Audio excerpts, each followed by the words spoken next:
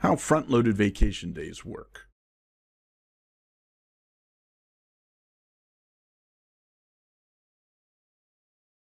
As part of the new contract between the Brandywine School District and Local 218, employees' vacation days are now front-loaded. The following slides are intended to provide an overview of how vacation days are earned and how front-loading works. Let's take a look at an example in the old way of building up vacation days.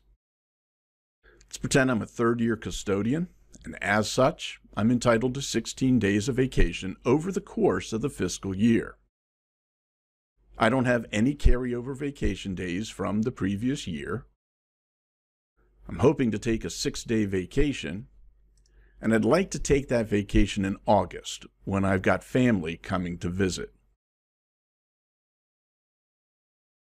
July 1st is a critical date because July 1st is the beginning of the fiscal year. Under the old method, employees had zero days of vacation available for use.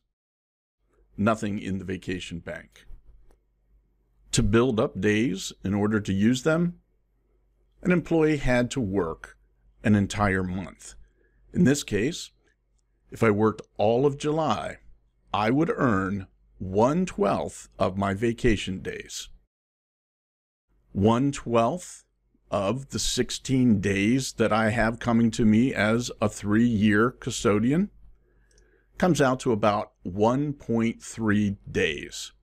So after working all of July, I can bank 1.3 vacation days.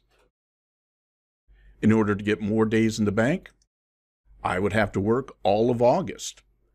At the end of August, I would again earn another twelfth of my vacation days 1.3 vacation days from July, 1.3 vacation days from August, would give me 2.6 vacation days at the end of August that I could have in the bank for use.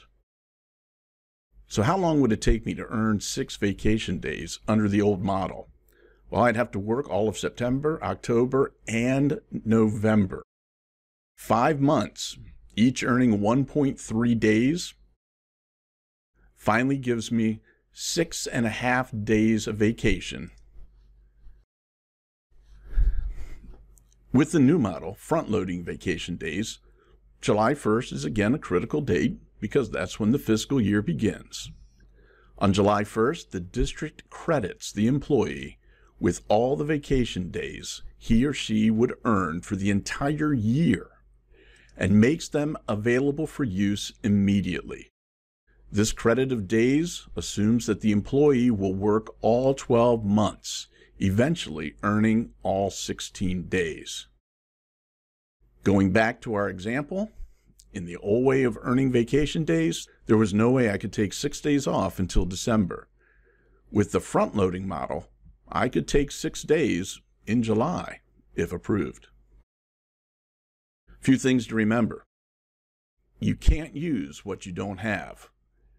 When you've used up your vacation days, they're gone.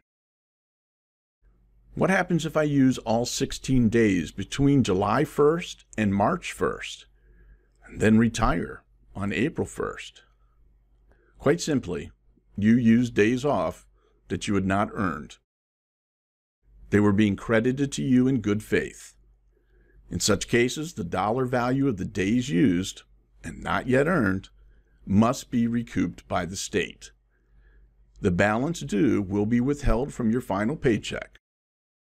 If the balance owed exceeds the amount of the final paycheck, the state will pursue legal action for restitution.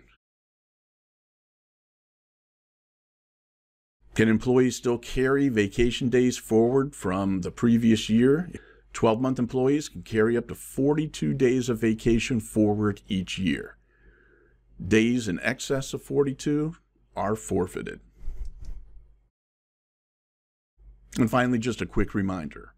All vacations are subject to approval by the supervisor of facilities, or designee, who may delay or modify such requests based upon the operational need of the district.